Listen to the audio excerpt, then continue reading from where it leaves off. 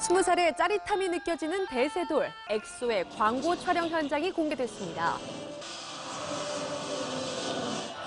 여기는 엑소K에 이어 완전체 엑소가 모델로 나선 한 음료 CF 현장. 노란색으로 맞춰 입은 12명의 엑소 멤버를 만날 수 있었는데요. 하나, 둘, 셋, 위아! 생명의 나무부터 늑대까지 춤으로 뭐든 표현할 수 있다는 엑소답게 오늘의 촬영 포인트 역시 춤이었습니다.